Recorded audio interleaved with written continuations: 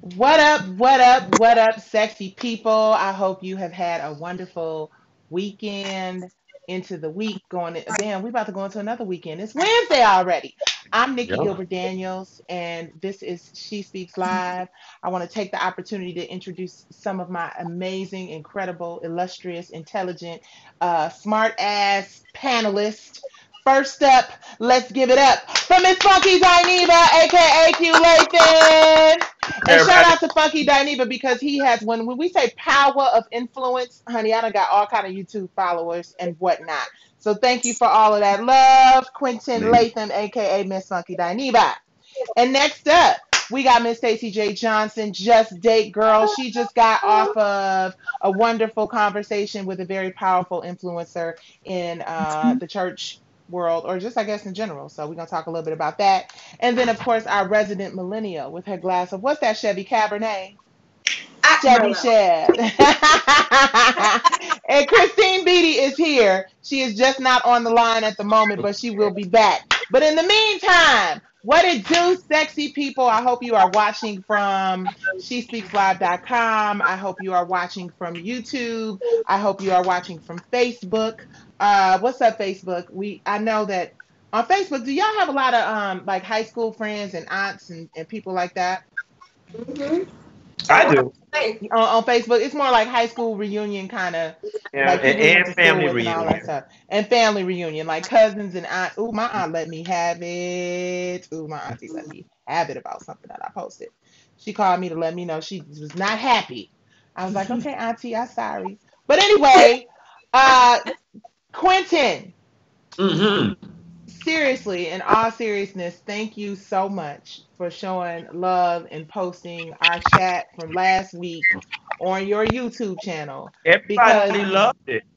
really, hmm well, tell me about it. Go talk about it. What they had said, what the people say.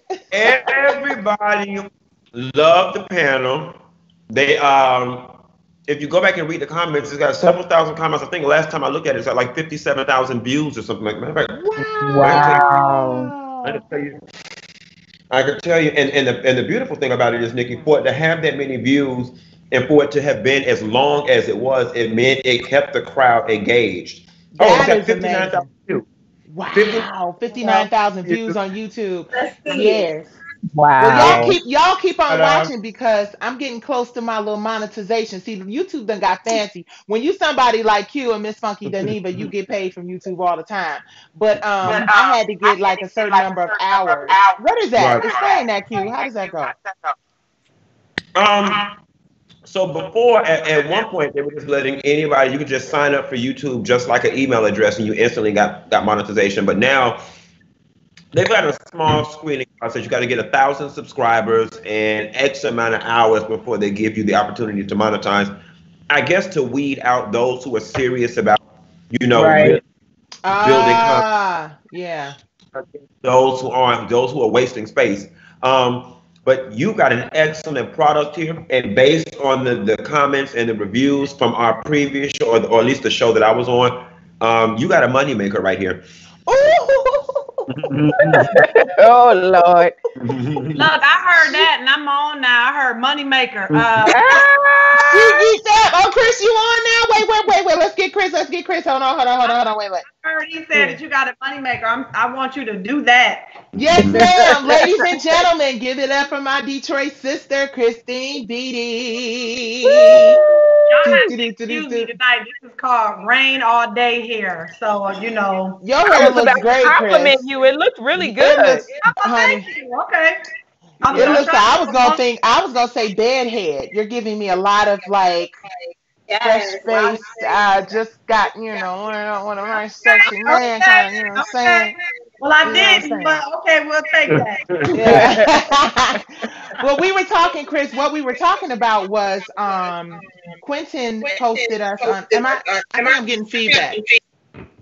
Uh oh. Is Is that it you? me? it started when Christine came It on. sure did. Okay. Turn my phone. Let me turn this down. My phone is not on or anything. Okay. It's better now. Okay, we good. It's better. Is now. that better? Yeah. Yep, it's much better now. Um, so we were talking about the fact that Q put the video on his YouTube channel, Mm. and the views have been like it's what 59,000 almost 60,000 views and what we were talking about on the monetization thing is now YouTube it used to be where YouTube you just put it up there you can get monetized you get your little check from advertising. And now you have to have a certain number of hours and a certain number of subscribers before they'll let you do it so now I'm like getting up to my hours and my subscribers and Mhm. things Wow. so yeah so I Well, really really so you're, appreciate you are a great content creator, so oh, whether it's thank you, me or somebody else, you know, you got here or a new team, you know how to create content, Nicci. You know what's up. For real. Hey, I'm trying every single solitary day. Speaking of which, let's talk about content. Mhm. Anybody watch the Housewives reunion? Oh, I yes, want ma'am. Oh yeah, I did. All I didn't ugly see the bitches second one. I is saw the I first saw some one. of it. What you Let's say, talk about Q? Quality. Why is it that all the ugly bitches always want to come for the pretty girl? Did that, that's what Ken, when Ken, when Kenya told them that. Kenya said that. Kenya Yes. said to Marlo and, And Nene Nene. directing it to. She, She said basically she said that Nene looked like what? The white a woman in drag. a white woman. White chicks in drag. and Nene said, "Bitch, fuck you with your bad skin." I know you ain't That's really with the your- only thing they can say about Kenya But as you know far what? as looks, bad skin. So, It got gutter. so you know what? So I just have to say this part. So we all have a guilty pleasure, right? So I think housewives tends to be like it's like our soap opera. You remember back in the day Mhm. when our parents used to watch the soap? All in the. I remember sitting in front of the TV watching the soaps.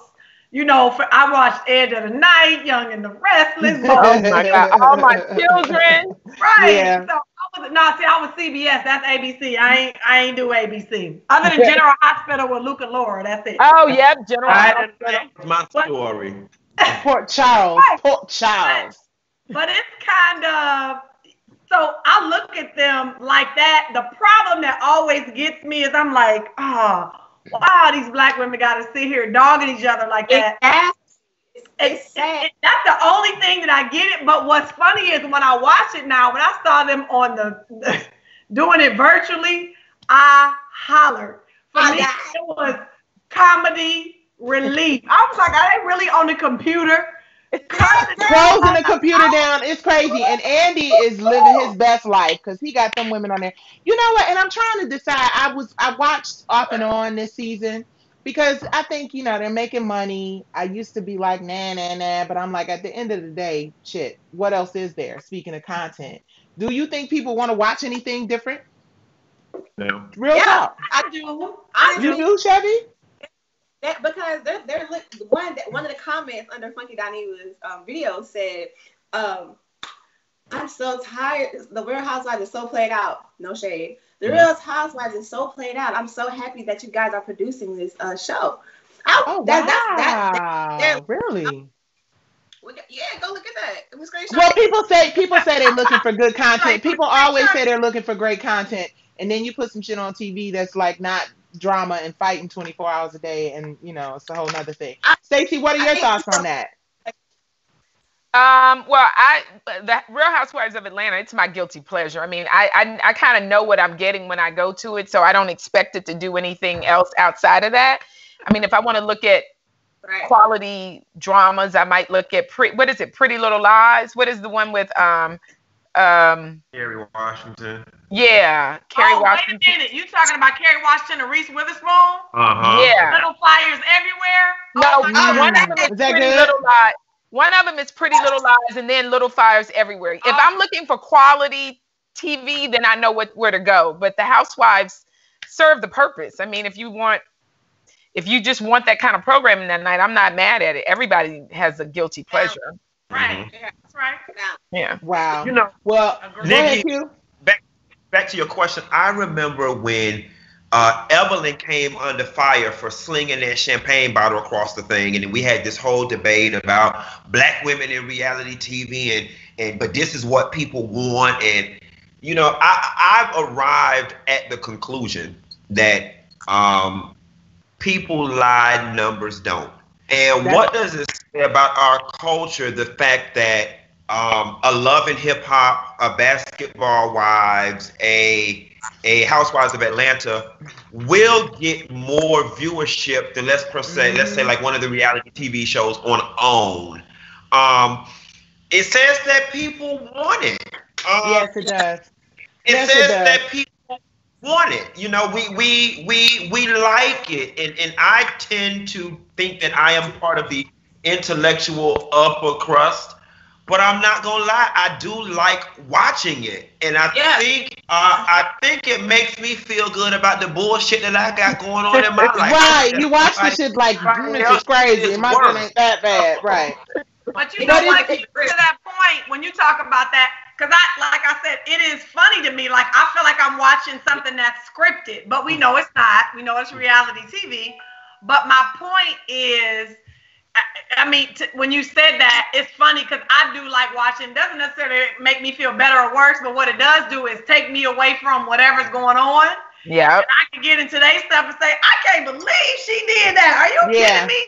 Yeah. So you know, it, it's that kind of thing. Like, and even some of the stuff that I that I watch, I think why that whole, you know, not I think why.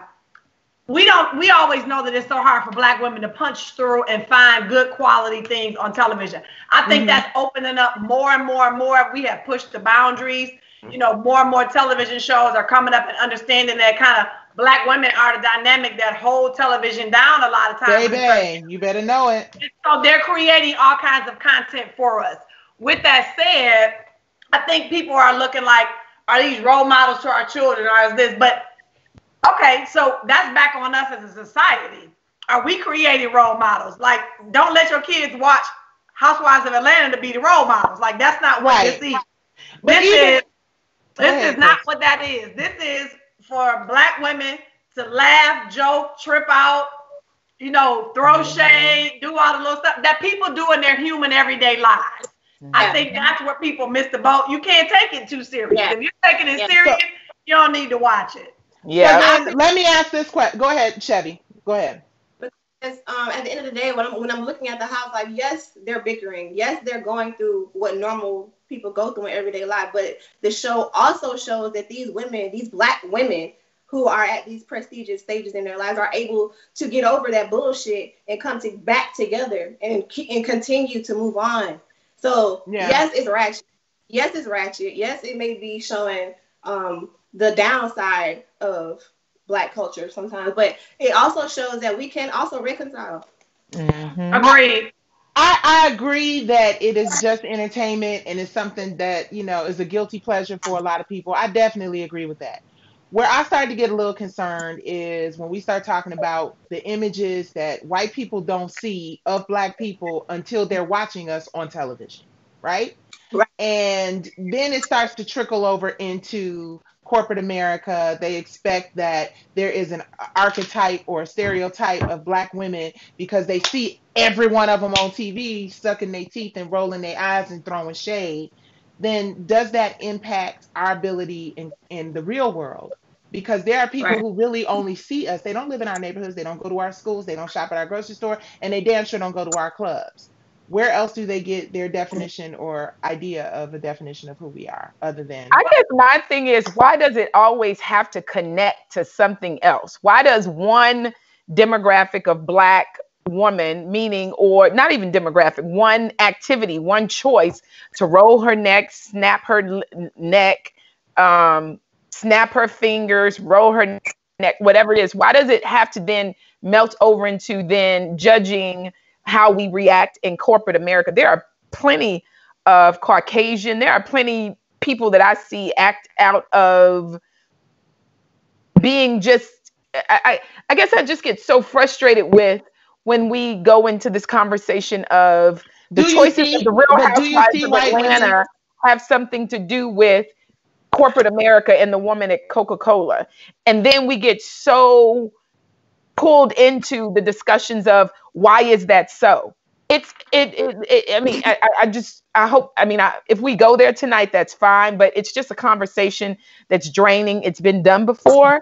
Um, I say let's just push forward and, and, and talk about something else. I know it's not my show but it just seems like here we go into every uh, uh, just because I'm a black woman and I snap my fingers and I roll my neck on housewives that means that in corporate America I'm that same person. Yeah, I might still snap my neck, snap my fingers, and roll my neck in corporate America. So what? Well, I, I think Stacey, you, I think you raised a good point, which is why does this one show have to define us? We're many things. We are people right. that like, what? Are you kidding me? But I and I can still do that in corporate America. but I also I, can go into a corporate setting and speak, you know, intellectually and sit with heads of state or whoever I need to, heads of networks and anybody else. So I, I totally agree with that sentiment. Like, I, I why do we have to fit in this box um, of oh wow, this defines our black women? No, it does not. Because and just like I said, thanks to the fact there has been such a push, there are a lot of mm-hmm. images on television of black women now, and I thank God for that. I thank God that my yes. kids grew up in the era of a Michelle Obama, a Kerry Washington, a yes. Viola Davis, uh, you know, we ain't have Angela Bassett. So you think it's so so you're saying in a nutshell, it's okay that those images are probably ninety percent. That Why those are probably ninety. What I'm saying is that all of us, I don't see all of us on TV. I see a monolithic. Nicci, you really can see say right now in 20 you don't see all of us on TV. What I'm saying Christine, is, I think you can say that you don't see I think I'm, I'm at. Oh, you asked me a question. I'm trying to answer it. Yes. Okay. I'm saying that I think the representations of who we are as a whole, generally speaking, that's the reason why when we all said we watch Housewives, it's a guilty pleasure. Now, Housewives mm-hmm. is probably the least ratchet of, of a bunch of what's on TV. Absolutely. Right? Right. The yes. least ratchet. I don't think Housewives is ratchet. I think it's shady. You know what I'm saying? Which yes. is a different thing. Yes. So I'm not when I when I go into the conversation, I'm not necessarily having Housewives as a flagship example. There's that feedback again. But Housewives isn't the, the flagship example of what I'm talking about. What I'm saying is that at some point we have to stop saying it's just entertainment. Let it go. Let it be okay that I, know, I never said it's just entertainment. I, so what are you saying? You're, you're over it. I'm what, saying what that, that for mean? me. No, I'm saying that I I don't know what TV I'm looking at, but on the TV that we have now in 2020, I see various level, various different shades, colors, shapes, sizes of black women, different personalities being represented. I I see a plethora of uh, colors of us as black women represented. I think the conversation of us just being in a box is a comfortable conversation to have because it's been had before. But at the end of the day, I see from uh, from um, uh, Kerry Washington. I'm sorry, I was stomped by her name. I'm talking Kerry about docu series television. I'm not talking about scripted TV because obviously a white oh, person is not going to look at obviously a white person because, is not going to look at Scandal and be like that damn Olivia Pope, Kerry Washington lady. I don't like her. They're going to well, know that I, Olivia I Pope know. is a character that's fixed that was written for television. What I'm saying is when we say ta- reality okay, TV, specific. you're talking about reality I was TV. very specific. No, you never specific. said reality TV. You said okay. the various co- yeah. Oh, so if you're saying reality TV, no, there's not a lot of people that's going to turn on television looking at a looking at black women who aren't yelling, screaming, fighting, pulling wigs and stuff and like that. My, in reality, that's my point. And, and honestly, we know we know that reality TV. That's just what it is. We produced Nicci reality TV, which j- did just that. I was on a show that, although it started out one way, there was a way from the bottom up ended up where producers did want to see us go at each other. What? Period. Where? Point blank. How? Let's open up the floor. We opened it all the way up. Let's open it all the way up because you just said that. Yes. How and who and when did producers Can intentionally? Can Go I ahead. comment on that? Please, well, Christine was there. Yeah. So what I was gonna say is this, Nicci. I um, I so we're talking about just reality television. Absolutely not. There's not a lot of content that shows exactly. I agree with that. I and I, I like Stacey, and I will say this. Also, thought you were talking about television in general. Yes. But let me say, whether we're talking about television in general or reality television, we can never get comfortable to say that there's enough representation behind the screen, on the screen. Please don't mistake okay. what I'm saying for that, because we right. can never get comfortable. We I always agree. have to keep pushing to have our voices heard, our stories told every time.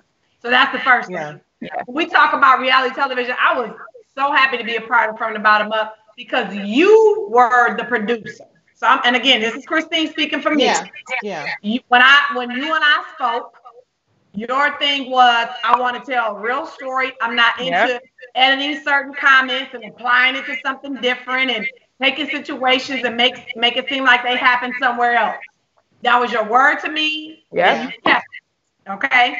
Now, as we got further into from the bottom up, we got to season two. As you know, the network wants fireworks. The Yep. network wants controversy. The network wants conflict. Yep. So while certain people are probably Stacey is an actress by trade. So Stacey can bring drama to the screen when it when she uh, ain't really no drama, right? So Yeah. not to say she was acting in the from the bottom up, she was still living her real life, but she knows how to ratchet it up. I don't. That's not what I do. I'm the way I'm talking not right now, as you know, Nicci, is how I talk. Yeah. I'm off camera and when I'm on camera. Right. Stacey communicate on the phone, I'm talking the exact same. So there's nothing there. When I lost faith and from the bottom up and where I said, I'm sorry, I got to step on out, was during season two when they taped the whole conversation. I think it was of me, Crystal, Kim, and somebody else. I can't remember. But the conversation was brought up about Stacy's mother. And Yep. I vehemently said, if you air that, I'm not, I'm walking off the show. So for mm. me, and say, and Nicci, you remember I called, we had a conversation, and you was like, yeah, I don't like that either. And that's what I'm saying. You as a producer, Oh, Nicci as a you for producer, one thing. No, no, but at you a certain said level, you did a show and producers did X, Y, and Z. So I just wanted to clear it up for the people no, watching. no, no, not So Nicci. Hold on, hold on. wasn't- That's- yeah, No, I'm talking Okay. about the producers who had the creative control of the show at one Wait, point. but that's not nobody. So this is the point. No one had more creative control on from the bottom up, other than myself and Flavor Unit. So let's be clear. The network was this was a licensed show, right? This was an acquisition. So while you, I want you to be clear, Stacey, because you're saying certain people. So I don't want anybody calling me because you said certain people wanted certain things. Okay, So I I can don't- clear that yeah, up. For me, clear that up. my experience, absolutely. Nicci, I, I- I mean, I support Nicci. Nicci is amazing. Nicci creates amazing content that I'm always happy to be here, including this. But I can't. I just, I mean, I'm an open book. The truth is the truth. After getting involved over a certain time, there was the network, and then there was Nicci. And then there were producers who were trying to make situations happen that really weren't there or- they were playing they were instigating situations that could have not been what they were. And that's just what it is. And nikki as creator of the show there's a certain amount of power after the creator of the show that you have to give the flavor units and all of that because it is a queen latifah brand. At the end of the day those And I brand don't that think, brand, but that's what I'm saying, and that's what I don't want to get into because I don't think that Queen Latifah um wanted to see anything like that. I'm I not saying I'm, didn't well, I never spoke to Queen like Latifah. that. All I can And I say don't think is anything like that aired. I don't think there was all ever I a can say situation is where you there were was manipulated. instigating or- happening. Mhm. There was instigating happening, and certain situations they were people wanted us to turn up. I, and maybe that's why maybe we should just Here's move on. But it wasn't Nicci Gilbert. Absolutely not. Well, and let me, but I, I want to add one last thing to that, and we can move on. It wasn't just a turn up thing because I'm not going to act outside of my character. I'm going to act how I always act, period. That's probably why I'm not good for reality TV. People say I'm boring. That's cool. I'm with it. But the side, the side from that is this. Where I took offense, Nicci, is there was a time when they took comments and something that I said on the show in one scene and applied it to something different that I did was not even talking about. That's where then I take issue. I, I can Right. always stand up for myself. You're gonna do live, you're gonna cut the scene just as I said it. I'm with it because I'm never going to back down from something that I said. If I'm wrong Right. or I hurt somebody, sure. But if I've said it, I meant to say it on television and anywhere else. Right. But my point was where I took issue is you you take my words that I'm talking about in one situation and you you're gonna clip it into something else that creates something that's not there. Now you've lost me. I'm yeah, done. that and that's not okay. That's And if if and if both, I obviously wasn't on set for every scene.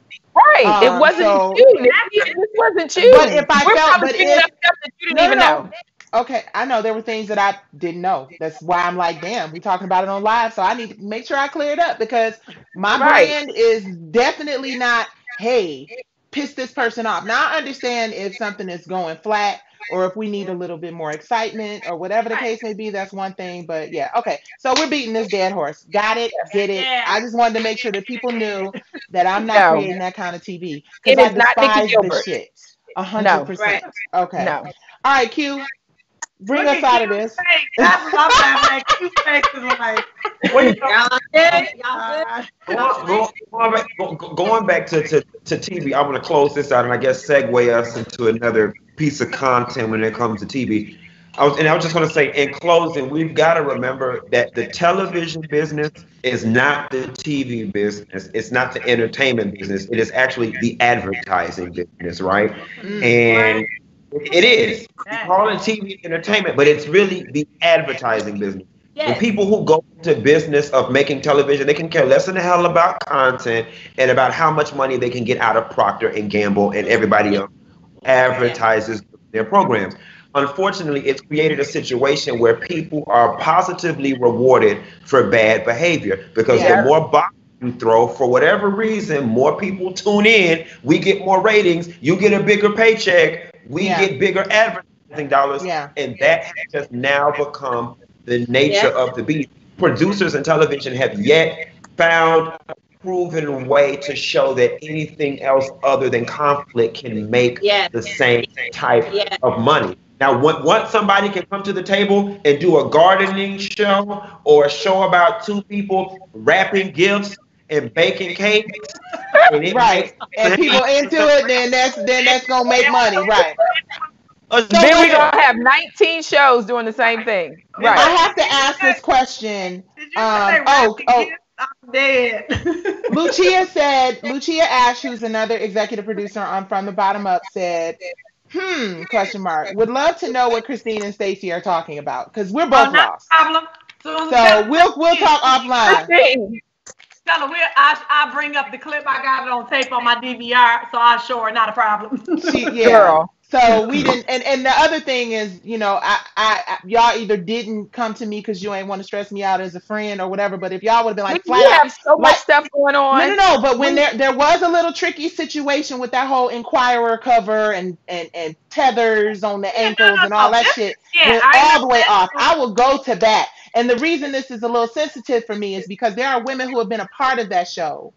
I'm going on ahead and say who have been like, "Oh, you didn't have my back and such and such and such and such," and I'm like, I didn't know what the hell are you talking about. You know, which That's is why, why, they we always never said me. you, Nicci. Right, That's why we never said you. We said and- networks and producers who were Yeah. usually there with us. It has not. Right. It, And I was actively involved in the show, but just Let other me shit was ask you a happening question, Nicci. And Being Yes. somebody, Nicci, being somebody who's walked now two television shows from concept to to airing, did you not feel any um, unspoken downward pressure to have something that was conflict driven in order for entertainment value? Did you not feel that pressure? You know what? Um, I have always feared shows being led in that direction. And always in the back of my mind tried to figure out ways, like in the case of let's just go on and say it, R and B mother divas.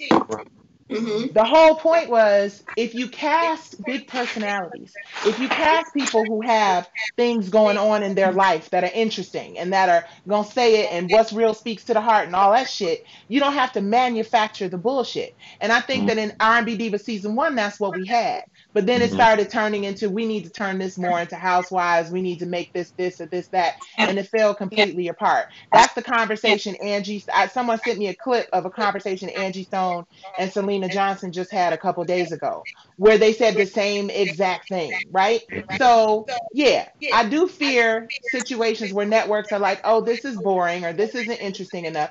And there were moments with From the Bottom Up going into the third season was hell because people were upset with me because they felt like I didn't fight hard enough for them to stay on the show But yeah, there were people, and I'm not pointing fingers at the network because you know I'm still trying to do business with these people and get it to the point where we can do content we ain't got to sell our souls for. Right. But I think there were Christine and people- I came back, didn't come back voluntarily. We Well, asked you- not right. It- I'm So not you talking can about figure it out and Stacey. yourself, people.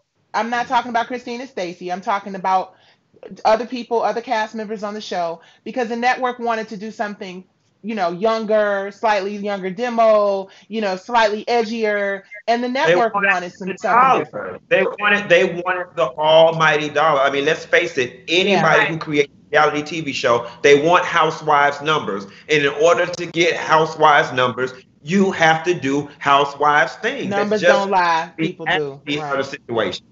Yeah. Well, and I'm gonna say I'm because I we I know we can already end it. I was not mad at season three. I watched it as a viewer.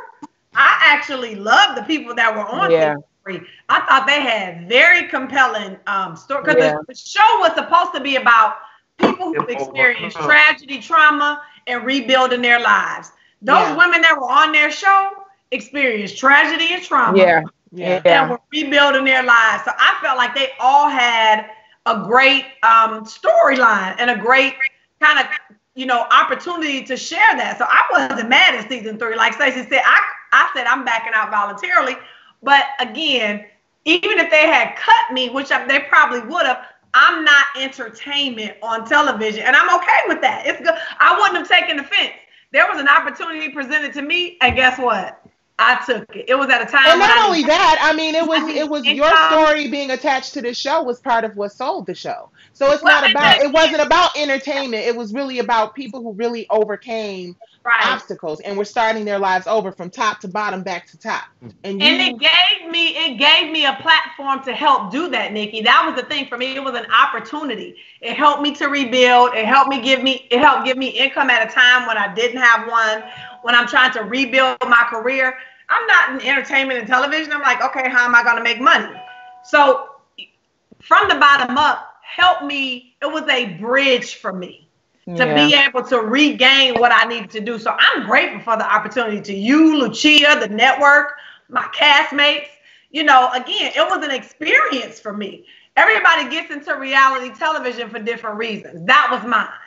And. I could say that yes, I am an actress, and but the turn up got so far for me, hateful outside of the show, to where I just it wasn't worth it for me at the end. And then the thing about just pushing with my mother and all that stuff, when my mother, everyone knows, is my before beginning, middle, and end, and she's in heaven. That was just too much of a low blow for me, and it just wasn't worth it. I still needed the money, and I walked away. I really needed the money, but I was like, I well, can't honey, talk about walking away from a coin. I walked away from Bang, bang. Yes. quite a few of them. As the So- TV and, and walked away. Miss Funky Dineva Ross, bitch, was not fired, walked away. But anyway, Lucia said to remind everybody before we get off of this that from the bottom up, seasons one, two, and three are now available on Xfinity. So if you want to know what we're talking about, we gotta plug that show. And I and, and another thing to add to this real quick before we jump off of this subject, Q, you know what? I, I I'm working on a new show. It's gonna be the shit. Ooh, Um, yes, I it think it's gonna be so much better than right, Chevy. Right, right. Um, and it is going to do what we're saying or what many people don't think can be done, which is allow women to share their stories and be positive and uplifting and full of drama and you know excitement and all that other stuff, but also not you know degrade us and and I take us back. So it's it's gonna work. I'm determined to get a damn show, and we may not see housewives numbers because that's a whole that's a thing. You know what I mean? They- but but we will do we we will do well. I'm claiming that. I will say this too, really quickly. O- o- OWN, the OWN network has created a nice, safe space for shows like that to exist without the expectation of Housewives performance, but the performance that is in line with what those the types network. of shows are. Yep. Um, Yeah. and and the the cleaner reality TV, it is a very niche market, but it's a market nonetheless. And the own crowd has proven that there is a home and a desire for. it. Yes. Yeah. Yes. Yeah. Miss Nikki, let me tell you. Yes. I told you. I I told you last week to talk to yourself nicely. Okay, so stop saying we may not do housewives numbers. We may what? Stop Okay. doing that. Okay, okay, thank you, baby. You're Yes, absolutely right, Chevy. Chevy. You're right. Um, That's why I love my Chevy. You're 100% um, right. I Yeah. love We will we will entertain the people, which is the most important Yes, thing. will. So Wendy Williams. Let's talk about Wendy Lavoris Williams. That's not her real middle name. I just made that shit up. I want Whoa, So- Wendy, Gotcha. Wendy Lavoris. So what is going on with Wendy? Who wants to take this? So she's she's no longer doing her show, and I am. You know something? Wendy probably doesn't even know I exist. Outside that time, she asked Monifa asked if she missed me, and she shaded the shit out of me um, oh. on the reunion. But that's another conversation for another day. Uh, but when Wendy probably don't know I exist and don't give a damn, and I, for whatever reason, I just ride for Wendy. Like I just want her to come through. But she's decided to cancel her show again. And I've watched a couple episodes of her Wendy from home. Has anybody watched? Is there Here and there. Yeah. here and there? Say, have you watched? I'm gonna stay out. of yeah, it's hard to watch sometimes. I'm Yeah. Yeah, why do you say that? Um, just because you can tell Wendy, he she's a performer that feeds off the energy of the audience and people watching. And in her in her kitchen, there's really no one there but her. So I empathize with the talent who sometimes that's what you need because that's what she's used to. Even if in her radio show, she it wasn't just Wendy, it was Wendy and two or three other people, and in the space with her. And now it's just her. And as talent, sometimes you need that other part. Uh, And it- I, I, I want to counter that really quickly. Mhm. I was in Kandi's play with Shirley Murdock, right? Okay. And. Shirley- You were good and too. I saw that. And Shirley Murdock gave me a piece of advice that changed my effing soul. Going to that feeding off the audience. So we did a matinee show in Savannah, and when we got off the stage, everybody was backstage like, "Oh, you know, the audience was dead, so I didn't really perform that good because the audience wasn't giving me nothing." Shirley Murdock pulled me by my coattail and said, "Let me tell you something, young buck. Mm. The people at 12 o'clock pay their money the same way as the way. people at 8 o'clock do. It is never the audience's Yep. fault. You have to Yep. give the matinee show people the Yep. same show you give the night show people. So to that point, Nick, uh, Wendy, that ain't no excuse. You've been in the game long enough. They pay you top dollar to show up even with an invisible audience. Yep. You have to right. put out your ass.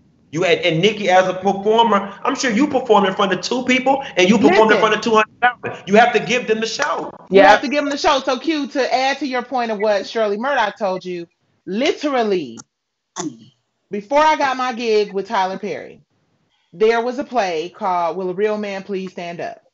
Mm. And I think that was called, was it called Will a Real Man Please Stand Up? No, it was another title. I'm sorry. But long story short, the producer of the play was cool with Tyler. So we went to Dothan, Alabama. I'll never forget. They sold no tickets. When I say no tickets, it was like a 1500 seater. There was Wow. nobody in the audience. No, there was like maybe eight people in the audience. So they called us to the back and they were like, listen, we haven't sold any tickets. Mm. Um, we're not going to be able to pay you for this. You can Mm. either go on because we're here and perform, or you cannot perform and we'll just figure it out. But we hope that you perform. Well, the bulk of us performed. Dee Dee was in the play. Monifa was in. Dee Dee McKinney was in the play. Monifa was in the play. Um, another woman by the name of Kimberly was in the play. So we go out there and we perform like it's 1,000, 1,500 people out there. How about after the show, Tyler Perry comes up. You, you, you. Can y'all come here with me for a second? Hey, what's up? I watched the show. You were amazing. That's how I landed Vera Brown. Wow. That's how I landed the role. So. Of Vera Brown performing in a studio, I mean, an audience of eight people that seated probably Wow. 1,500, and Tyler Perry was one of them. So what Shirley Murdock told you was absolutely the truth. I don't I care. think- you don't know what that one or two people had to do to pay for them tickets, and they Yep. deserve the show. No, and I I believe that, but I believe Wendy, on the other hand, is used to certain things. So I don't, and I don't believe she's not intentionally doing it. I just think Even for that to be an excuse. I just think it's hard for her to. I just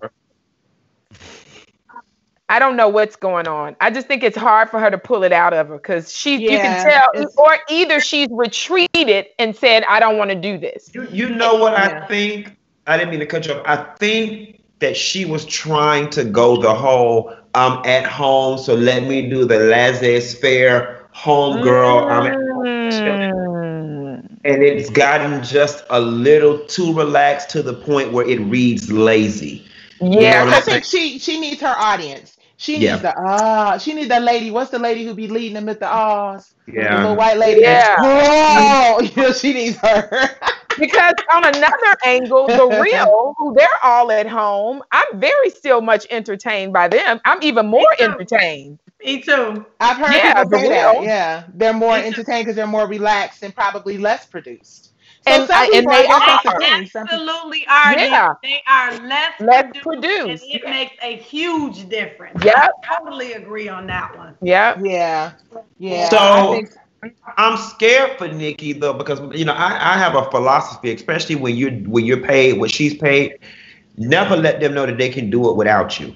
Okay, so like if they if they mess around and put something else in that time slot, or they call in somebody else to fill in for her, or whatever they choose to do during these times, you might fuck around and and lazy yourself out of a damn job. Ooh, yeah.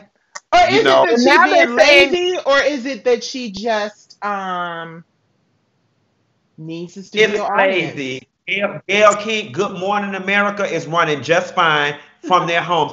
Wendy can do. Gayle King gets up, she gets dressed, she cleans her house, she has a nice backdrop that's well lit. To be honest, when I watch Good Morning America from home, I can't even tell they're home.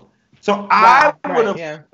that Wendy would have done that. I would have assumed she would have had Norman, that white lady, and and and, and Morel come do her makeup, and she would have had a four-man skeleton crew from her house. She got the money, make them bitches live there. Yeah, make them And you know what else? You know what else you just reminded me of? I think too because that kitchen is so damn dark. dark. That kitchen needs is- You know to what? cast this I believe up. that. Oh my God, Stacey, you hit the nail on the head. I don't even watch Wendy Williams. I'm not a Wendy Williams fan, but I saw a clip of her on something. I don't know what it was. And I was like, why is the background like a vampire? Yeah. Where her she had a Betty Boop or something it behind was- It her. looks like she had a damn rummage sale, all that shit in the background. Clean that junky ass. Yeah. I think if her setting is Yeah, yeah, it's, it's totally. so dark. Yes. She need a green screen that say she speaks live at eleven o'clock on see the Fox. background There, there, there was a way. Kitchen. There was a way Wendy could have done that show with Yeah. more energy. I'm sorry, when you got the resources, you got the experience that she's got, it's no excuse. This is no excuse. Yeah, it's, she, a she, net, it's a network produced television show. right. Yes. And in her defense, she- in her her defense, she have does suffer from Graves' disease, and she said, well, the press release said that the Graves' disease is the reason why she's, you know, um, taking a, a step back. So, Well, I'm not gonna ever question if And I that's happening to somebody, their health. So yeah. And Yeah, I guess mean, the wish her Graves' the best in disease- terms. I guess the Graves' disease was the reason her ass was at that rehab too, huh? Talking about oh. Talk about- Got talking about she was just going to visit because she had never went. Um, oh, girl, bye. Oh, Wendy, Lord. I guess. Look, Oh, okay. look, look, look. We can sit here and shade Wendy all night, right? we can sit here and shade her all night. But at the end of the day, that lady kept people relevant. Whether it was shade or whether it was positivity, Wendy Williams kept people getting money in their pockets, whether those people were mad at what she was saying or not. At the end of the day, celebrities need to be relevant, right? So Yeah. that was her job. That was her job. She's the But- queen of daytime. She, she's Absolutely. undeniable. That's why this is so disappointing that you're Yeah. taking the lazy way out. You are the queen of daytime. Queen up. But we don't know what's going on in her real life. But at the end of the day, she caught Still she caught hell. Yeah. She caught hell because she, she's sitting there making all this money shading everyone else. But when fire comes under her own relationship, she can't talk about it. So she might be taking time off to, to, to work on her own shit. You know what I'm saying? Who knows? But I hope she is. So Wendy, we hope so because go ahead, Chris. No, I was just gonna say, but that's my whole issue with Wendy Williams. I'm sorry, like I said, I was trying to stay out of the conversation because I'm one of those not a fan. I don't Mhm. watch her. She don't get my What goes ratings. around comes around. Yeah, I can't do it. My thing is, there are some people that I've watched her talk about, and I'm like, really? She's talking about people kind of in their lowest of lows, mm-hmm. and it- Leah, I mean, it's almost like karma, right? Karma. Yeah, because is- everybody be going through some shit when they going through some shit. You don't Yeah. know what's the reason why anybody does it. But but I, I get entertainment, but I think Yeah. there are sometimes she could have stayed entertaining Yeah. and not attack people on the level that she did. I, you can be the queen of daytime and do all of that. And there was sometimes she threw blows when she didn't have to throw blows. Yeah, because I didn't like that Wendy Williams. I mean that Whitney Houston interview at all. That goes down. I almost didn't mess with her for a long she- time after that. I remember Wendy on radio. So you know, I'm a I'm a BeyHive member. People call me because you know I love Beyonce. Me and my kids. It's it's what it is. I ain't ashamed. But I remember when Beyonce was pregnant, and one of the things in Beyonce's documentary when she was talking about all of the rumors and the lies that were being spread about her, about her sister carried her baby, she really wasn't pregnant, all these shenanigans, and Wendy Williams was one of the people who perpetuated that rumor Wow. and her voice was heard on Beyonce's documentary. Mm. That even that lost me even more. Oh more. 'cause I'm like, wow, right. do- Yeah. Oh yeah, if you go back and not the not like the concert documentaries. I'm talking Yeah. about the one she did about you know having the baby and come all that. Mhm. When she got interviewed, she had the like uh bun braid bun on the top, and you saw her face interviewing a lot. Wendy Williams was one of the voices on radio at the time that you heard kind of spread that rumor. And Wow. for me, having been through something where the press and the media can pounce, and I get it. You know what I'm saying? When you're in the public life, that's what it is. You're, Yeah. you know, we're in government, people gonna do it. I get it. I, that's not a problem. But for people who don't ask for it or have not done anything to bring it on themselves, that's another level. You're Yeah. actually speaking on this woman's birth, her child, something that she That's had off limits. Yeah, that's off limits. Yeah, people have talked pregnant, was able really terribly about her too. So yeah, that's so the that's last thing for she should be doing. I've Right. never been a fan of Wendy. I, she off the air first. I heard of it today. I'm like, Strange. Look, okay. Yes. Christine takes That's us how our feel. from last week talking about how people do anything for clout. And that takes me right back to the comma where clout is also a marketing strategy because that's what Wendy Williams capitalized Look at Chevy of. bringing back the conversation. do anything for clout. I guess that I mean there's a point there. Okay. So we really didn't I didn't come up we we decided to freestyle tonight. So if you are watching us on YouTube, if you are watching us on Facebook, if you are watching us on shespeakslive.com, which is where I hope a lot of y'all are watching us, um, please feel free to join the conversation. If there's something, any questions that you have for any of us, please feel free to ask away. Um, Q, I want to make sure that you know that Lucia said that you were her first choice to host the season two reunion of From the Bottom Up. She made it Oh. very, very clear. Oh, Yes, cute she loves her some Q Latham. Oh. Ain't about that part. You would have Um, been a good Well, host, Q. Yeah, I can host, hopefully I can host the first, second, third, and tenth reunion or whatever you and Nikki working up uh, next. My name is fine. So, Stacy, in the dating space, I watched and supported my friend tonight while she interviewed um, Pastor Pastor Bryant. Um, so that was a great conversation. So, you want to give us some highlights and some things, some some great things that you picked up from that conversation at all? Um, no, not really. Oh, she's trying to shade us and like not share. Well, it was great. It's awesome. And I got, you know, a lot of great information from that. Okay, so then there. Um that was cool. real straight away. Stacey, I'm starting to believe that you're getting a little um bougie for us. Like, you know, it's just shit you don't want to talk about. You understand? But like I know this is just a little web series that your friend did, but honey, we got cute Miss Funky Dineva Ross on this motherfucker. I'm gonna need you to perk up, drink some coffee, do something, and give us some. you No, just date it it is- out. no, You just is date it not out. that. She First of all, Wendy Williams. Show up to work, bitch. Show up. Right. Show up. Show up.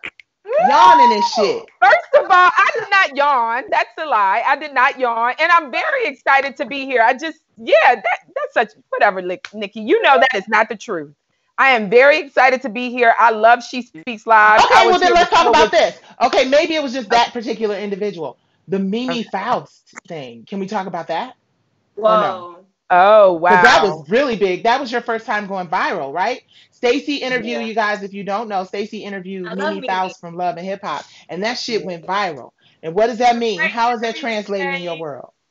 Well, I can tell you first of all, something that started off really beautiful ended up being taken in a whole another direction. The title of the show was Becoming Mimi Faust, Healed and Happy in Her Own Skin and she shared we shared everything from about her family from about the pole situation and explaining that to her daughter one day and how difficult that is as a mother to have to be in that place but she realizes that she has to do it you know mm-hmm. we talked about everything from her love for stevie and how now she's different now as she's loving ty but mm-hmm. then the thing that went viral is the literally towards the end of the show i said so what's up next for you and I said, Are you going to stay on Love and Hip Hop until the wheels fall off? And that's when she shared that. And it was more of a. What did she share? She said she shared basically that you know she had to take a pay cut for one hundred and fifty thousand dollars because she refused to bring drama to the show. Yeah, and and a because of that, of one hundred and fifty thousand dollars. Oh, they breaking them off over there on Love and Hip Hop. Okay. Yeah, and because of that, you know, you know, one of the questions the producers asked her was, you know, you sure you and Ty aren't having any problems? And she was mm. like, no. I'm not doing that. And she took a pay cut. And to oh, me, oh, they wanted her to be, bring drama in a relationship. They wanted her to be drama. But to me, at the end of the day, her standing on with the show called Becoming Mimi Faust, healed and happy, to me, that choice was because she's at a different place and yeah. she's not making choices just because of money anymore or clout, which to me is a beautiful place to be after being on a show for nine seasons. I mean, yeah, I, but, the, for that to like, be the one like thing out of that conversation that you went somebody viral. and you're overweight, and then you lose weight, and your husband loses leaves you. So you lose weight because you want to be a healthier, better version of yourself. But your husband wow. married a fat girl. And yeah. because maybe he had a bit of a fetish. So that happened to somebody. Somebody talked about that on a couple shows ago. Wow. Talked about the fact that they had a friend who was plus size. And I think Shanita told said, told this story.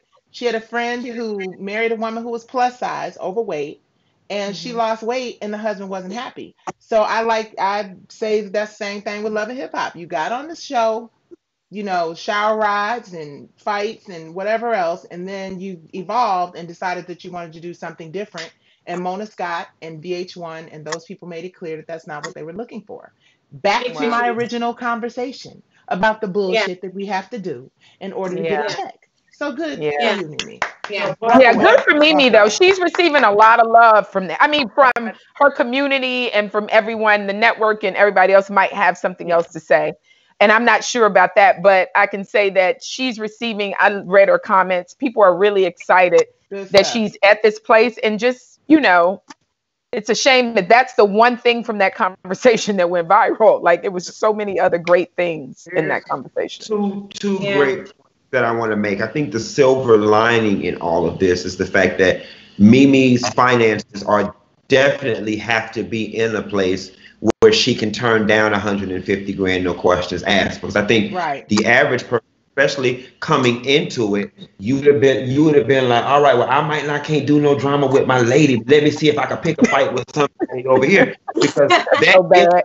That's so bad. But yep, you know, and, yep and, and and and and no shade to Mimi, but based on what you did with that shower rod, I'm not convinced that you just so full of integrity. Well, no, your bank account is just cute right now, and you don't necessarily need it. Okay, so that's great. That's the silver lining.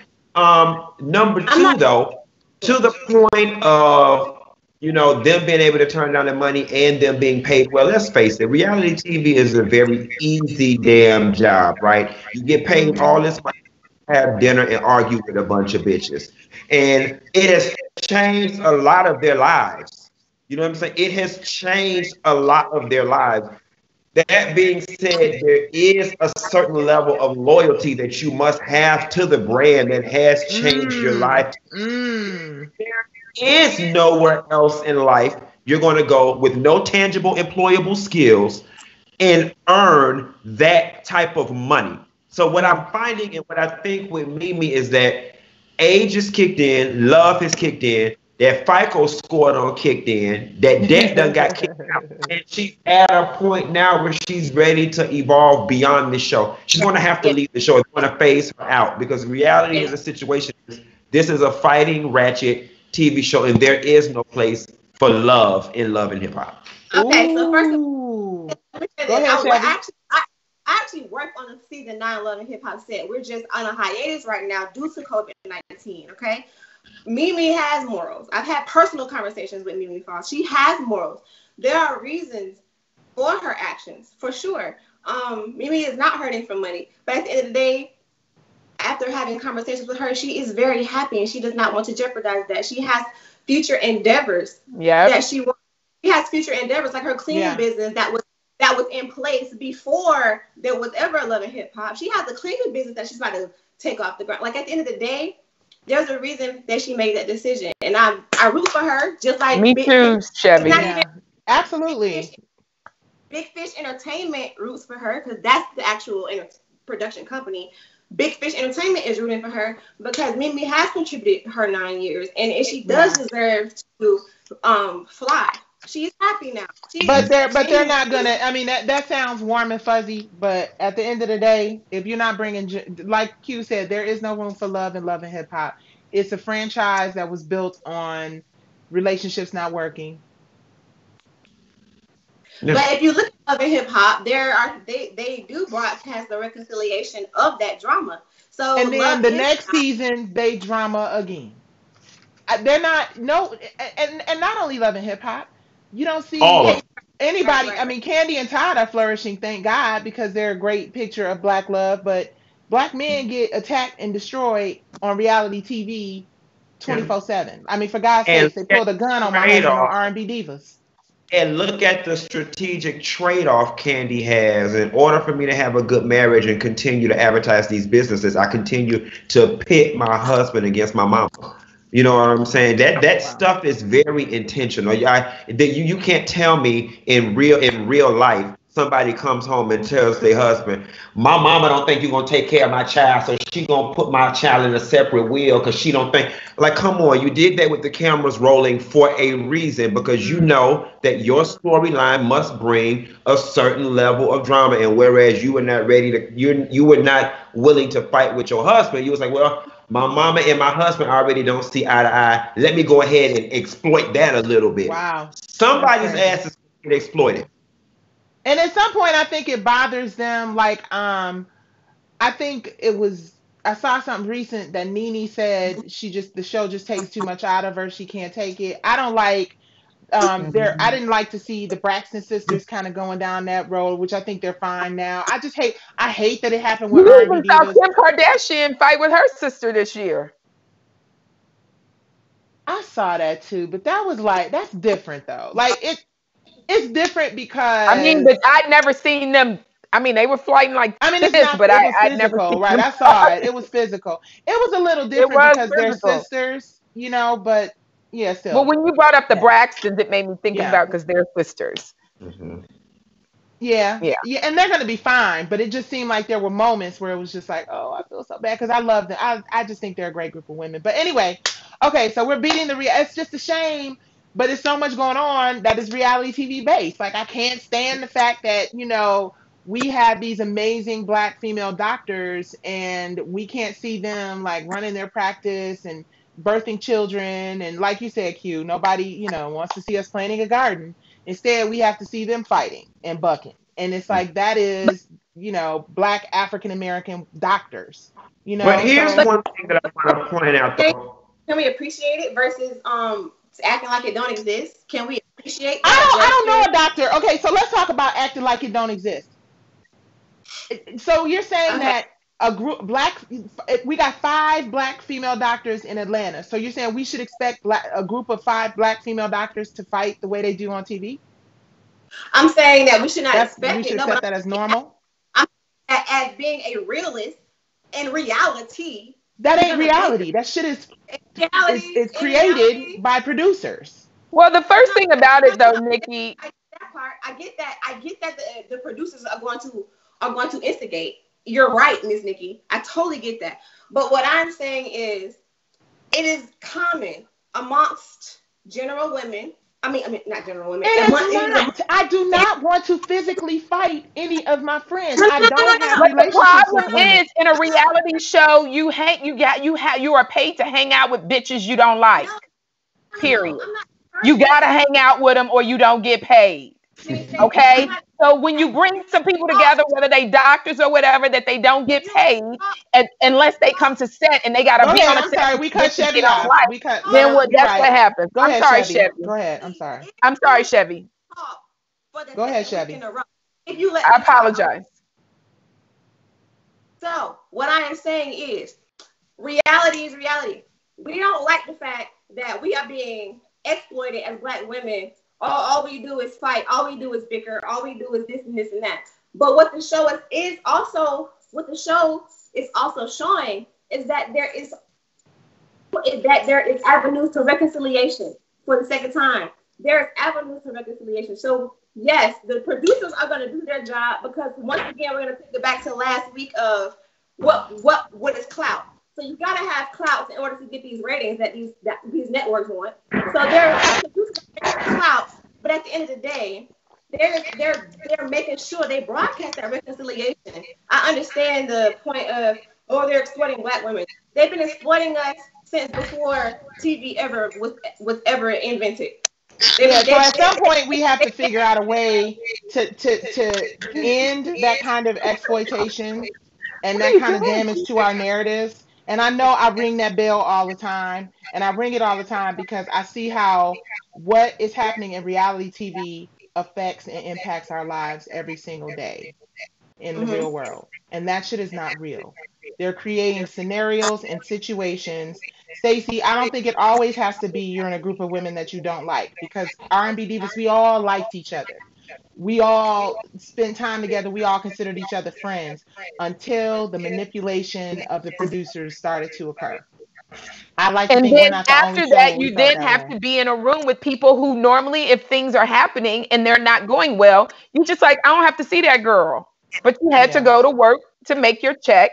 And then you had to be in a, a situation with someone who you didn't, you no longer were getting along with. That's it Right. still I get that it. I get it. It's just it's it's it's foul. I get it. It's just foul. Let me ask I hate it. Okay. So to Nicci and, and, and ladies So on a, deeper level, on a deeper level, could part of our frustration be in the fact that we have unrealistic expectations for certain groups of professional women? Yeah. Just because somebody is a doctor or a lawyer, does that rob them of the the, the ability or the choice to get mad and want to beat somebody ass? I don't I don't think just because you're a doctor, you shouldn't want to beat a bitch ass. But that, that's exactly that's exactly what I was saying. We had the conversation earlier, Q. We are many things. Mm-hmm. I can be a professional and I can still be pissed enough Yeah. to beat your ass. I'm sorry. I have to constantly pray on my Christianity and say, Lord, remove this from me. I'm because I'm human, because people will take you to a place. The question is, how do we deal with it? How do mm-hmm. we recover from it once we cut somebody out or beat somebody's ass and go from there? Right. The other thing that I have an issue with with reality TV, some of these things are what I don't. This is my thing with this. Some of these controversies, that's not how people deal with controversy in real life. right. Nobody throws a drink on anybody at a restaurant. Nobody goes to some. I mean, people just don't do that in real life. That's where I take issue with things because the stuff that's supposed to be reality TV is not reality. Mhm, If, mhm. if you threw a drink on me at a restaurant, there's going to be a brawl. Ain't no producers coming. There's nobody to break us up. Bitch, I'm gonna beat your ass because you threw a drink on me. Are you threw a fucking drink, right? No, and excuse me for cussing. I'm sorry, But No, yeah, but I mean, really, But where, yeah, where did the drink throw? I don't even know where the drink throwing shit came from. Like, Yeah, did people throw drinks reality. before reality TV? Soap opera, it- maybe the soap operas. And five people gonna grab me and I can't get to you. You throw a drink on me, it's on and popping. I'm sorry. Yeah. We're not Yeah. doing that. So you can talk to me like I'm a human and I'm gonna talk to you like I'm human. But what you're not gonna do is throw a drink on me or raise your hands to me and pull my hair and I'm not gonna be able to get back to you. Because in reality, there are no producers and security to keep us apart. Yeah. But you know, one thing I also want to interject, and, and I hate this, especially being somebody who studies reality TV for a living, damn near. They always want to bring up the comparison and make it seem like the black women are getting portrayed worse than the white women. And I beg to differ. now Me that I look at I look at the Housewives of New York, I look at Beverly Hills. Woo! They drunk, they ratchet as well. It's Yes. just culturally they may communicate with one another slightly different than we do, and our means of communication may be considered a little more hostile than theirs. But they they are equally as riddled with conflict. They equally call each other bitches. They throw drinks equally as fast. And they stay cutting up. So this, I don't know what this whole But you don't of see the thing is too, you don't see you see that only in one franchise, which is the Housewives franchise, right? You don't Mhm. see shows on top of shows on top of shows with little black kids, little black uh, millennials, little black black women, black you just every reality show on television with people of color Mhm. has the same archetype, the Mhm. same Yeah, you're right. stereotype. Every Mhm. single one of them. And there are tons of them. So that's my Mhm. point. When we start talking about, well, white people doesn't have, yeah, because white people don't do reality TV outside of the fucking housewives. Mhm. You're right. And they don't do that shit because their husbands and their parents and whomever else is like, do it. You can listen to all that rap you want in your car with your friends. But when you get out, you better walk straight. We don't do it in our community. It's just it's cool, it's fun. It's like social media, the same thing. When you look at IG, when you everybody's an IG model, everybody I just and yeah, I'm a little over the top with my shit, like I've said, but I'm so over people thinking the only way we can make a living in entertainment is to clown our fucking asses, ourselves, and each other. Could a lot That of it be some bullshit. Could a lot of it be economic coercion just by, by virtue of the fact Absolutely, that absolutely, because you have very limited. Wow, that's absolutely, it's what Byron Allen has been talking about for I don't know how long. It's Mhm. like, yeah, well, if you want this show, go beat that bitch with a bat. Well, if you Right. want this show, you And- better be and- prepared to flip over a and- table.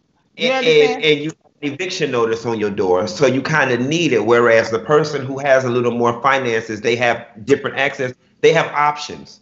Money gives you options, but when you like going back to Mimi with the pay cut, she don't need it, and that's a blessing.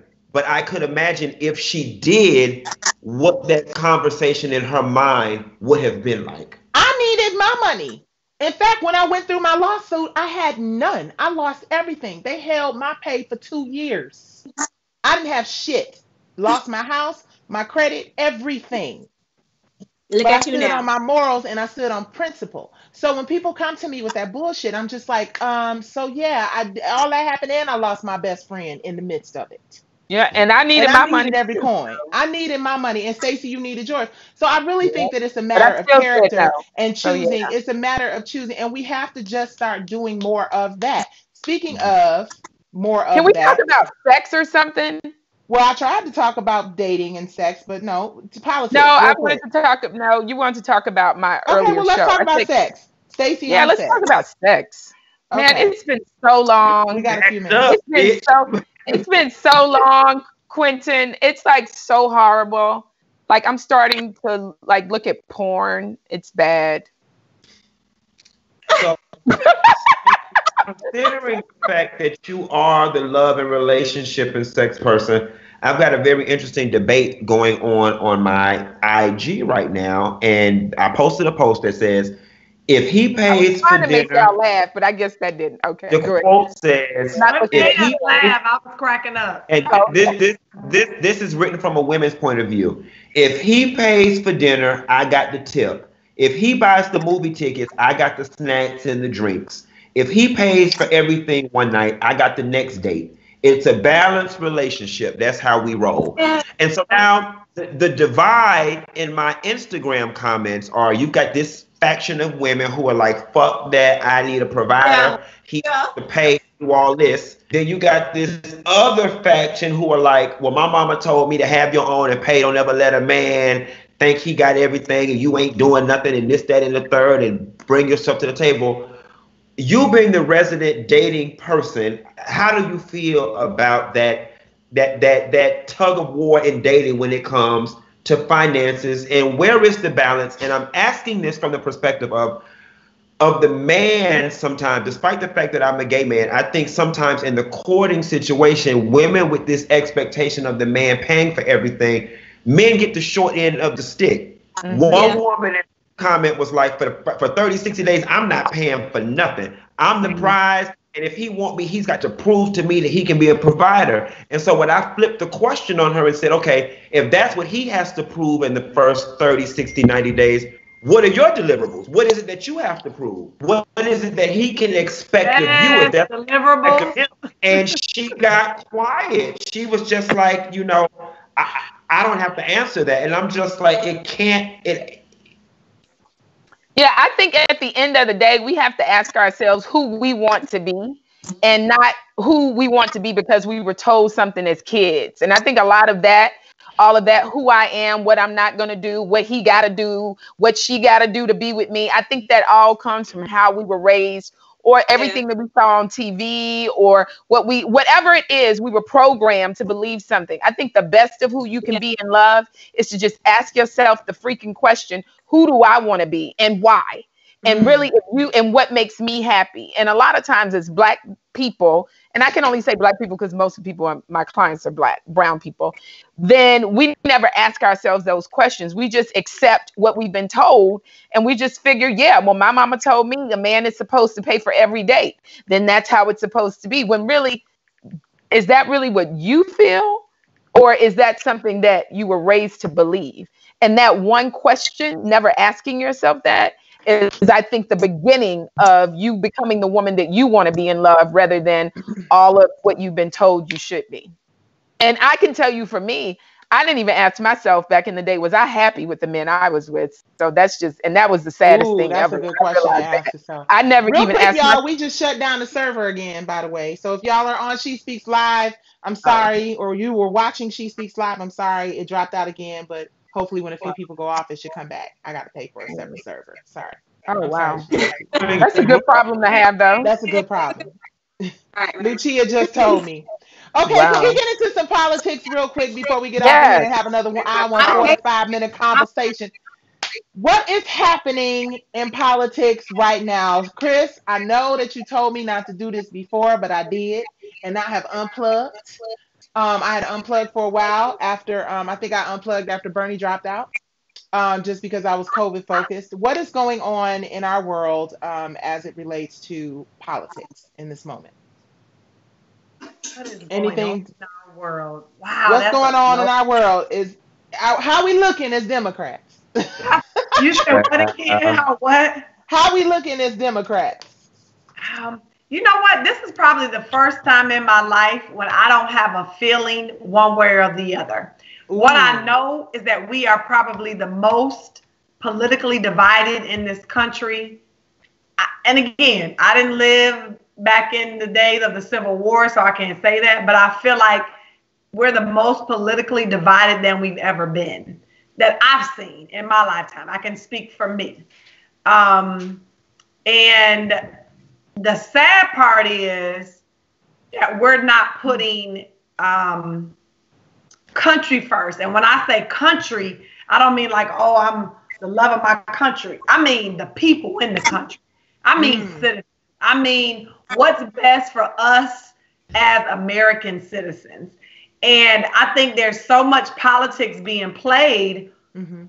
on both sides that you have um, a void of, of true leadership. Now I'm hoping for us because I am a Democrat. I'm a. Yeah. I'm I'm never back down from that. What I'm hoping is that our folks who are in leadership can step up to the forefront and provide a roadmap that um, shows the way to kind of recoup. We're right now, our country in general, you know, is so divided that I don't really know how we kind of come together right now. Like I don't have the answer. I truly don't.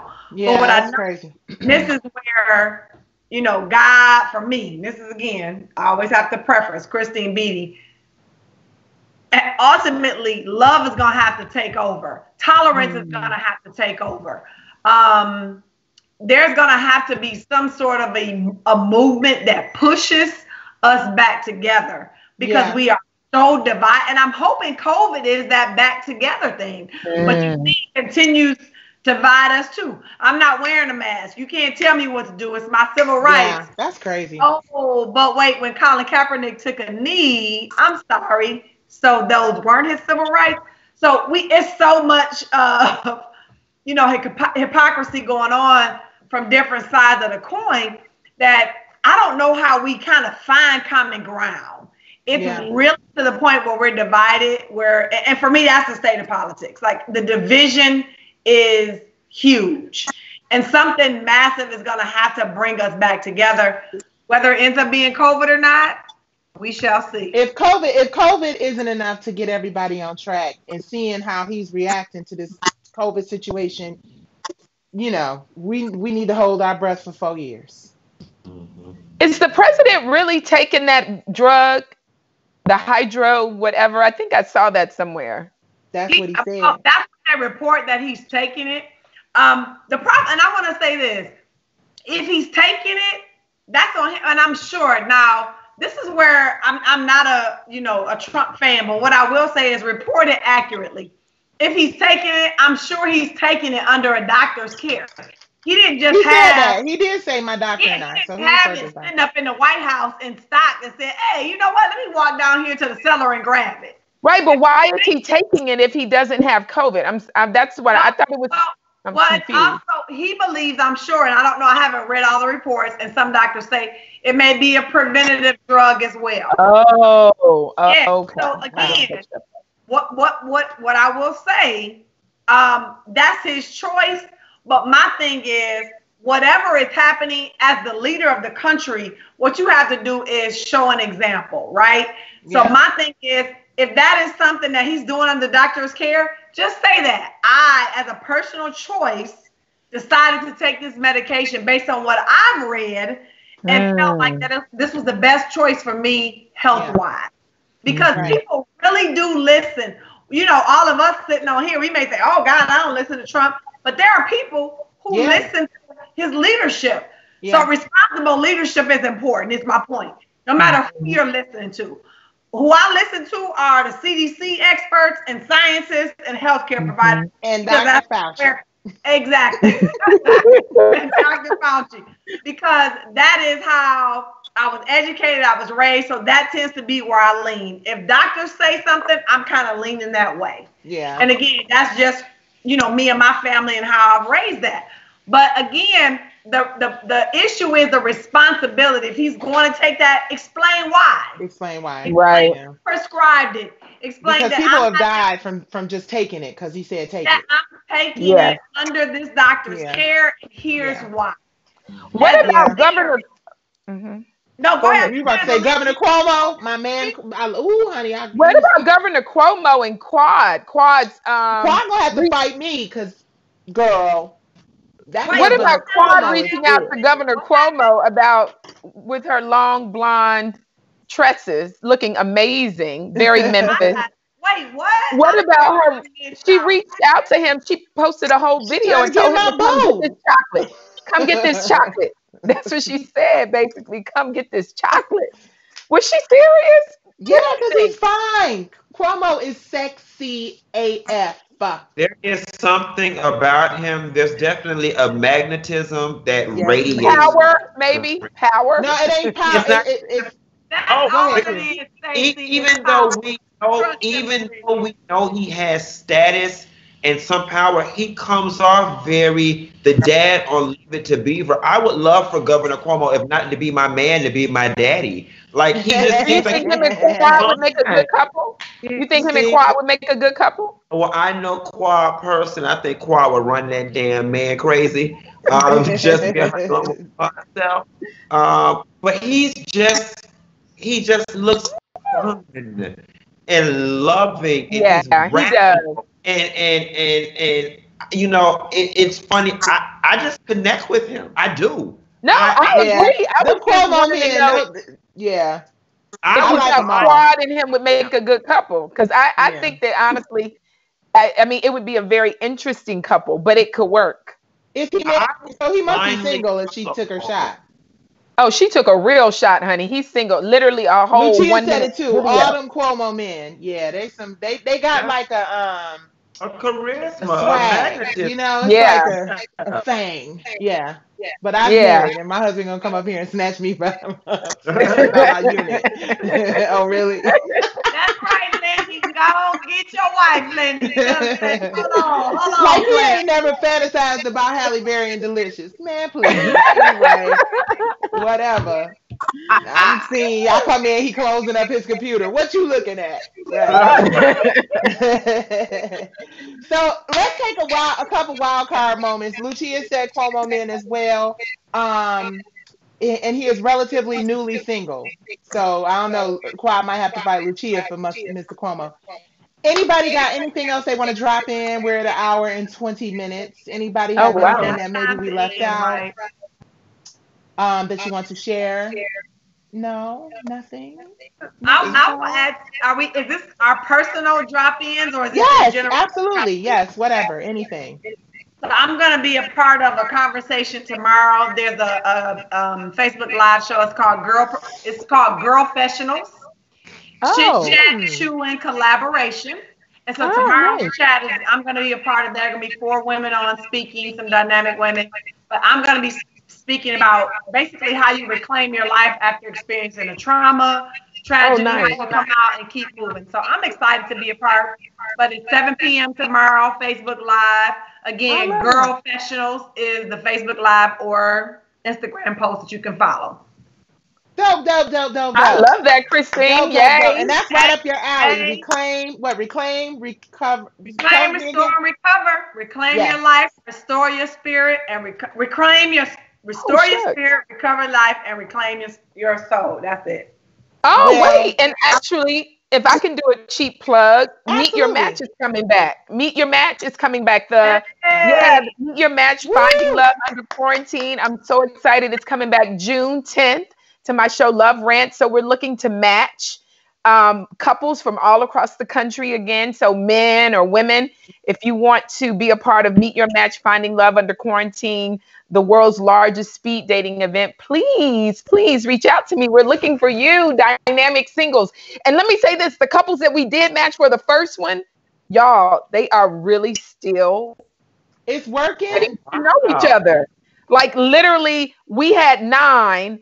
It's literally eight of them are lit. Like it's like I get chills thinking about it. Like that can make me get stuff. emotional. Literally, Oh, eight couples are still getting to y'all. That is like crazy. So you Yeah. I do love it. doing over there. You ain't just scamming the girls out their money.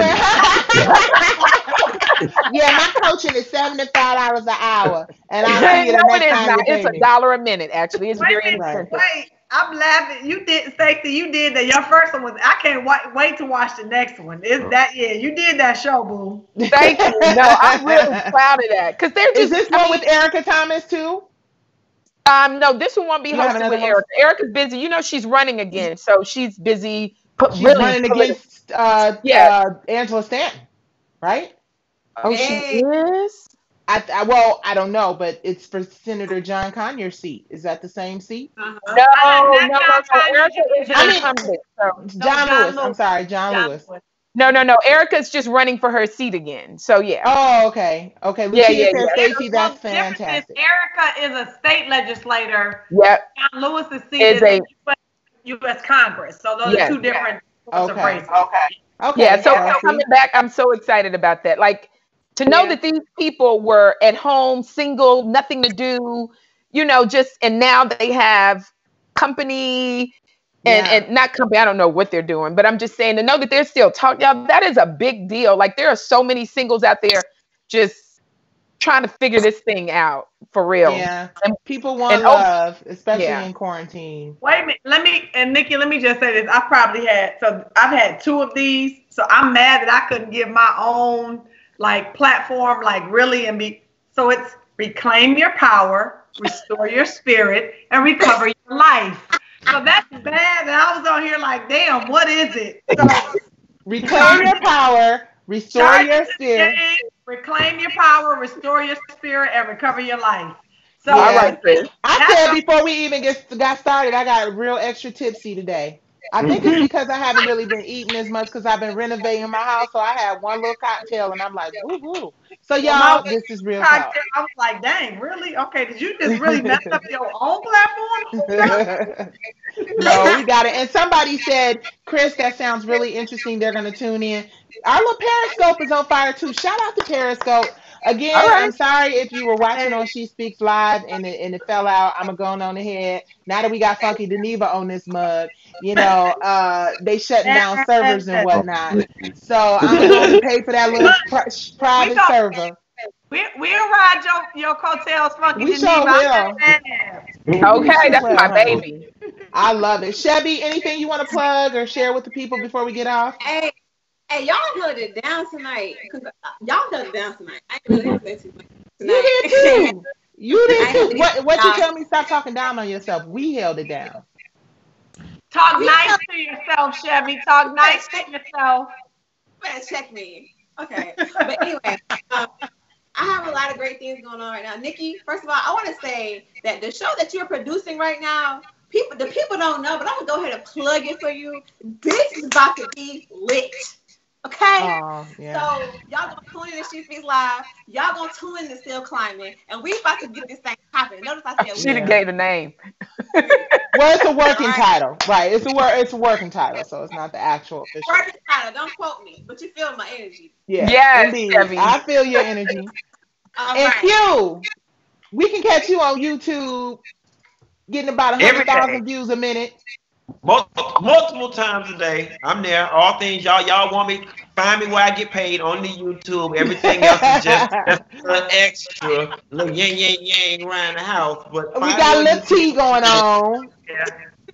All Where can they find your tea? You better sell some tea. It might be somebody watching that want to buy some tea. I know that's right. Anybody looking, listen. Don't come, don't come out of this quarantine fat and ugly the same way you went into it. Okay. Customers better get you some of this CBD detox tea and come out fine. Just because Corona is here does not mean summer is canceled. Okay. Ah, Right. you better And if get you it. make extra money, you can join my sales team and sell this tea, baby. It's selling like hotcakes. So check out my Instagram, Funky Lativa. Click the link in the top. Buy the tea, sell the tea, change your life. Let's And I'm tripping because we got a lot of YouTube viewers thanks to you. I'm sitting here looking at YouTube like, damn, YouTube usually be light. We got quite a few people watching. This thing is growing. So make sure Yes. you guys register at SheSpeaksLive.com. Please follow, subscribe. You probably already subscribed to Funky Dineva's YouTube. Chris, what's your YouTube? Do you have a YouTube? I don't. I gotta get in the know with the YouTube. You got to get a YouTube. Sage, you got a YouTube? Yeah, yes, it's I know um, she does. Chevy is Stacey- at I am Chevy Carter, right? Yes, that is correct. Somebody That is asked. Steady with an I. Steady with an I. and mine is just at Stacy S T A C I I J A E Johnson. Just my and name. we're at No Ego TV. So thank you guys for watching tonight. We were a little shorter than we were last week. Um, next week we're gonna have some incredible topics for you guys. Thank you for um, supporting us. Um, I am working on some dope content that hopefully I'll be able to share with you really soon. Remember that next month is Gun Violence Awareness Month, so I'm excited about some of the conversations that we can have uh, around Mhm. that. But this is smart, sexy, ambitious ass conversation. I'm Nicci Gilbert Daniels. That is Q Yes. Latham, Quentin Latham to be exact. That is Stacey Not J. Nessa Girl. Johnson, Just Date Girl. That is Chevy Carter at I am Chevy Carter. That is Christine Beaty at Christine.bt. And Funky Yes. Dineva's handle, like y'all don't know, it is Miss Funky Dineva. Um, yes. may I invite the people to submit questions to us to for us to Yes, please. Absolutely. Submit questions, please. By all means, submit questions. You can submit them. She speaks live at gmail.com or in on our She Speaks Live Instagram handle, handle please follow at She Speaks Live on Instagram. And somebody said something to me, oh, all your hosts need to plug this channel into their YouTube for more viewers. Okay. That's what Mhm. that's Okay. what Imani Spicy 13 told me. So Imani, since you got What did we suggestions, do? tell us how Oh, to She said somebody said I love River Jones said I love the value in the raw conversation. Yeah, it's. You know, just thinking and Oh, talking outside the Hey, box. River. Hi, River. See, come on, that's Chevy. Come on, Chevy. All right. and somebody that asked me five times on Periscope, who's the woman in the middle box with the long braids? Her name is Chevy, and they asked me for your follow. She is our resident millennial. All right, Yes. sexy people, we She's love gorgeous. y'all. She's gorgeous. Absolute little baby Whitney Houston. Okay, you got a little Whitney vibe. Good night, everyone. Thank you guys for watching. Good I love and night. appreciate y'all. Good night. Good night. Good Bye-bye. night. Thank you, She Nicci. Speaks Live.